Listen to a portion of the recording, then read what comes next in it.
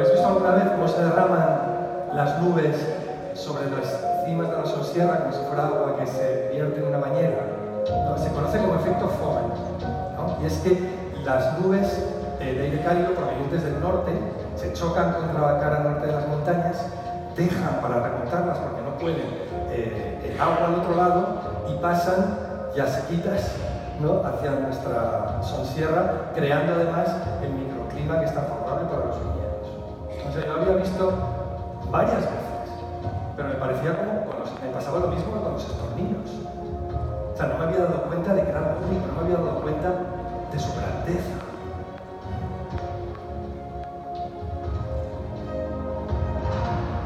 Además este vídeo me gusta porque empiezan a salir unas nubes negras por ahí, las que nos recuerdan, dice, oye, cuidado que estamos en una guía del gobierno de La Rioja aquí, de la que también, Eduardo, que también, ¿no? sino que estamos en un thriller realmente, y es que también había elementos y escenarios para ello. Yo me fui a San Vicente de la Sosierra, que lo tenía a 6 kilómetros nada más de ella.